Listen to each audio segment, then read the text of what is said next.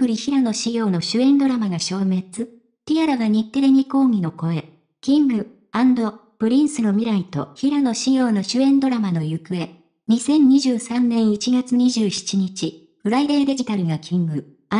プリンスに関する記事を掲載し、グループ内での脱退騒動とともに、平野紫耀の主演予定ドラマにまつわる報道が注目を浴びています。記事によれば、平野ら3人の脱退は事前に日本テレビ、日テレ、上層部に伝えられ、その結果としてグループは継続されることになりましたが、主演ドラマの未定については不透明な状況が広がっています。背景、キング、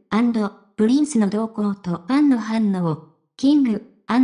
プリンスは平野紫耀、神宮寺勇太、岸優太の脱退発表に揺れ動く中、冠バラエティ番組、キング、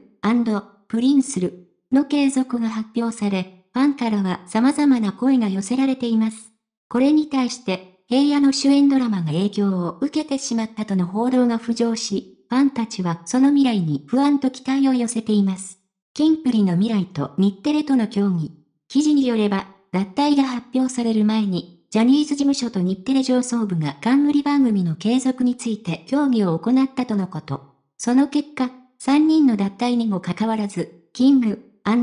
プリンスのグループ自体は存続し、冠番組も続投が決まりました。これに対するファンの反応は賛否両論で、グループを支持する声と3人の脱退に対する寂しさが入り混じっています。平野紫耀の主演ドラマが白紙に、昨年配信された日韓大衆の記事によれば、平野紫耀は23年4月期の日テレドラマで医療物作品の主演が内定していたとされています。しかし、グループ脱退が発表されることで、この主演が白紙になった可能性があると伝えられています。この報道が SNS 上で拡散されると、一部のファンは日テレに対して平野の主演ドラマ続行を求める懇願活動を開始しました。ファンの反応、ティアラの懇願と一部の懸念。平野の医療ドラマが消滅する可能性に対し、一部のファンからは悲しみや期待が表明されています。特に平野の白衣姿に憧れる声や、日テレに対してドラマの続行を求める呼びかけが SNS 上で相次いでいます。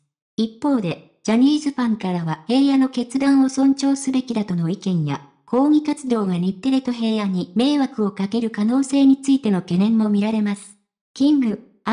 プリンス、平野仕様の未来への期待と不安。キング、プリンスの未来にはまだ不透明な要素が残っています。3人の脱退にもかかわらずグループは存続し、冠番組も続投することが発表されたが、平野の主演ドラマについては依然として状況が不透明です。ファンたちはキンプリの未来に期待と不安を抱きながら、平野の新たな挑戦が果たされることを願っています。ジャニーズ事務所や日テレにとっても、ファンの声や懇願活動に真摯に向き合うことが、今後の展開に大きな影響を与えることは嫌おなく考えられます。